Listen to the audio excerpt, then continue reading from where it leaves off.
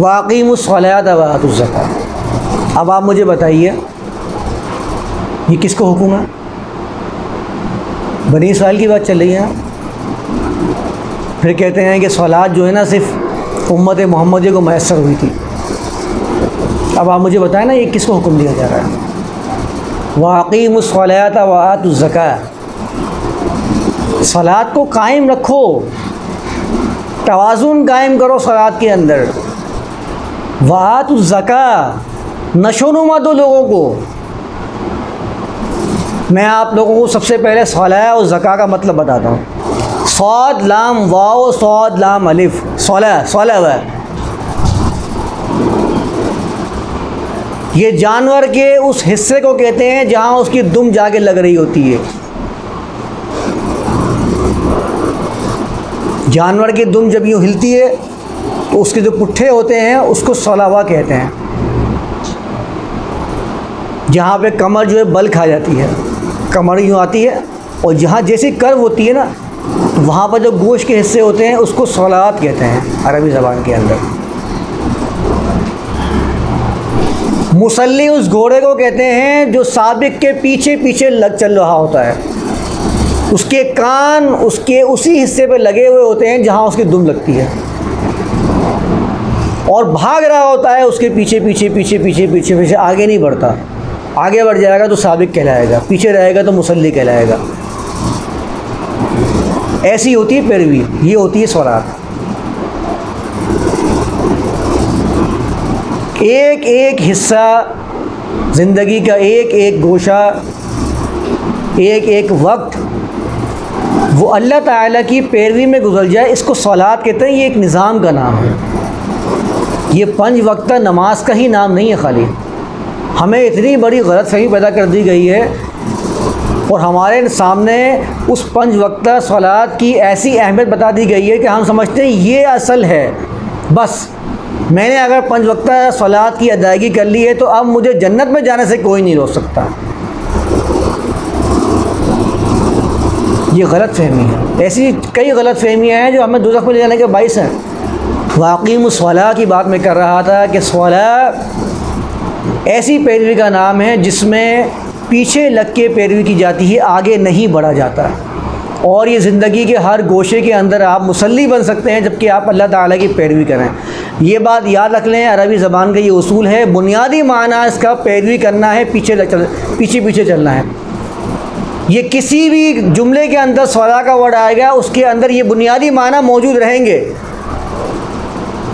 इन व मलाइकतून नबी के अंदर भी ये माना मौजूद रहेंगे। या यूहल्लदीन अमन सल्लु वसलम तस्लीमा के अंदर भी ये माना मौजूद रहेंगे। आप कैसे कर सकते हो कि एक ही आयत के अंदर अल्लाह ताला के लिए कहते हो रहमत कर रहा है और इंसानों से बोलते हो कि वो सलाद करें तो वो क्या करें? दुरूद पढ़ें। और दुरूद में क्या करते हो? अल्लाह सल मोहम्मद। अल्लाह ताला अपने फ़ैल से तरगीब दिला रहा है तुम्हें कि अल्लाह उसके फरिश्ता सलाद करते नबी पर तुम भी करो। और तुम क्या कर रहे हो? तुम अल्लाह से कह रहे हो कि तू ही कर ले। अरे भाई, वो तो कर रहा है सलाद। तुम्हारे कहने से कर रहा है क्या? तुमने क्या किया है? तुमने अगर सलाद अल्लाह को बोल दी, तू कर ले तो आपने अपना फ़र्ज़ अदा नहीं किया। आपकी सलाद वैसी होनी चाहिए जैसे अल्लाह ताला की सलात है। आप तो बोलते हो, अल्लाह की सलात अलग है, मेरी सलात अलग है। जैसे ही या लजीन अमन सल्लु अलैहि वसल्लम तस्लीमा का आयत पढ़ते हैं, सबकी ज़बानों से अल्लाह मोहम्मद। ये सलात आप क्या, किसको हुक्म दे रहे हो सलात करने का? सल्ली आला हुक्म का सीगा है। आप अल्लाह का हुक्म कर रहे हो तू सलात कर। अल्लाह सल्ली आला का मतलब क्या है? अल्लाह आपको हुक्म दे रहा है, आप अल्लाह को हुक्म दे रहे हैं। अगर अल्लाह को सलाद करनी ही थी तो अल्लाह तो सलाद कर रहा है। और अगर अल्लाह ताला की यही वशीयत थी आप भी अल्लाह से बोलो तो अल्लाह ताला को फिर आपको हुक्म देने की ज़रूरत नहीं थी। इस सलाद का मतलब ये है कि पैरवी करना रसूल की, उसकी मदद करना रसूल की मशन को आगे लेके चलने में टीम वर्क करना। टीम वर्क में क्या होता है? सब एक दूसरे के मददगार बन जाते हैं। सलाद का जो मतलब है, वो पैरवी में लग जाने के हैं। एक जगह आया है, या यो लजीन तुकदमू बैन यदही व रसूली व वतकुल्ला आगे ना बढ़ा करो, अल्लाह उसके रसूल से। आगे बढ़ना यही तो है, आगे बढ़ गए, साबिक हो जाओगे। आगे बढ़ बढ़ के जो दीन के नए नए हुक्म बता रहे हैं नए नए तरीके ईजाद कर रहे हैं नई नई रियासतें आपको बता रहे हैं, जिसका अल्लाह ताला ने हुक्म नहीं दिया। ये वो लोग हैं जो मुसल्ली से सबक बनने की कोशिश कर रहे हैं, जो दीन में उस चीज़ का हुक्म कर रहे हैं, जिसका अल्लाह ताला ने हुक्म नहीं दिया। वाकई सला और सलात आपकी पैरवी ऐसी होनी चाहिए जो बैलेंस्ड हो वाकई मैं अगर खड़ा होकर अपनी दोनों टांगों को तोज़ुन में रख लूँ और सीधा खड़ा हो जाऊँ, इसको अरबी ज़बान में क़याम कहते हैं। तोज़ुन कायम कर लेना। ये कुरान को भी अल्लाह ताला ने फरमाया, क़य्यमन क़ियामन क़ियामा, क़य्यमा। कुतुबुन क़य्यमा का लफ्ज़ आया ना कुरान के अंदर, फ़िया कुतुबुन क़य्यमा। ऐसे इसमें अहकाम हैं जिनके अंदर तोज़ुन पाया जाता है। गैर मुतवाजन अहकाम नहीं है। तो सलात में तोज़ुन कैसे होगा? आप सवाल ही बनता है। सलात में आपके तोज़ुन उसी वक्त हो सकता है, जबकि आप अपने आप को किसी भी मौके पर गैर मुसल्ली शुमार ना करें। आप ये ना समझें कि मैं नमाज़ में हूँ तो मुसल्ली हूँ, मस्जिद में हूँ तो आबिद हूँ। आपकी ज़िंदगी का हर हर लम्हा इबादत बन जाए, ये मुसल्ली है।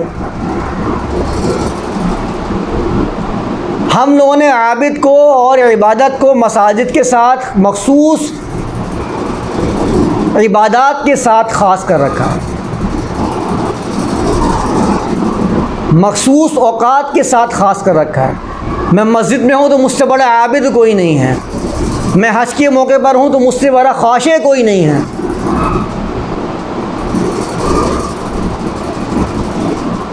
और जैसे ही मैं मस्जिद से बाहर निकला तो मुझसे ज़्यादा बड़ा फ़राडी कोई नहीं है।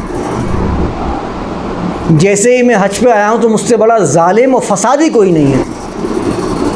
ये वाकई सला नहीं है। ये गैर मुतवाजन सलात की बात है। इसी तो फरमाया इन सलात तनहा अनिल अनिलफ़ाशाई वलमुनकर कभी समझा इस आयत को?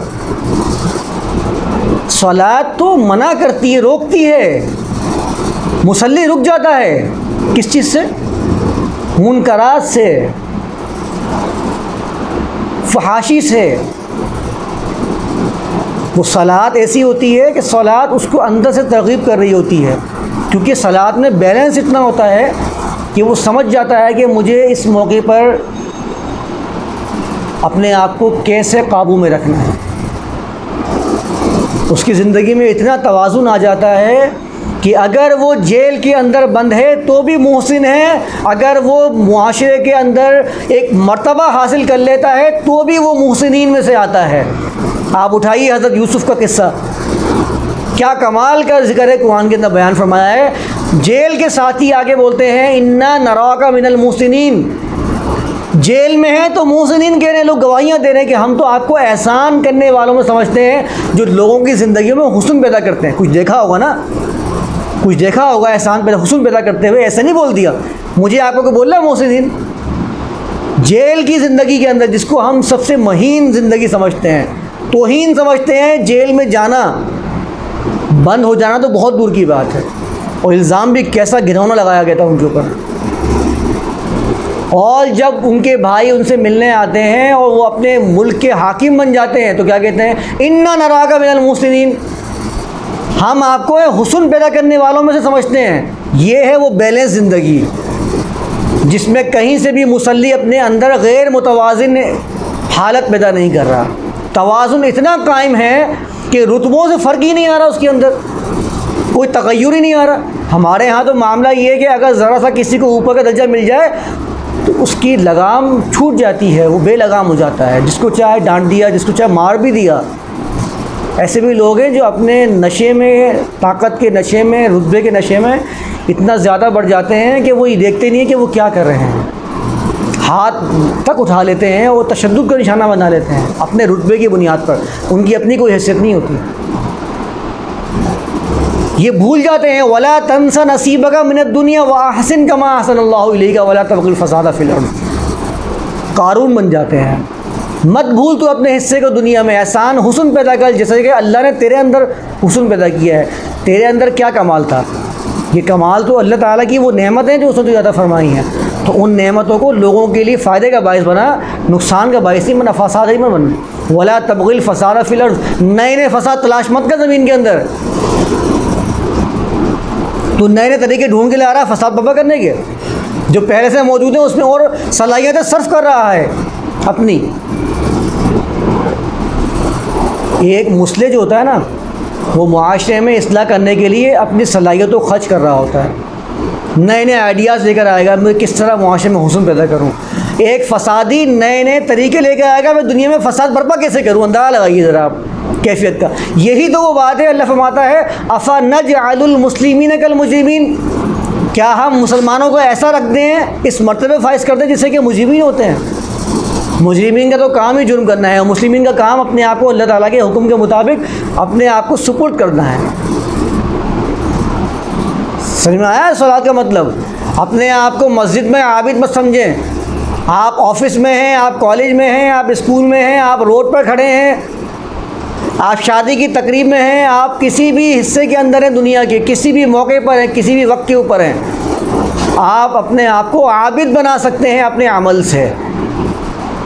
इबादत को मसाजिद में कैद मत करें, ये बहुत बड़ा जुल्म है ये बात कि लफ्ज़ के साथ, मुसल्ली के लफ्ज़ के साथ। सलाद को पंज वक्ता अवकात में कैद मत करें, ये तो पूरे निज़ाम चाहती है।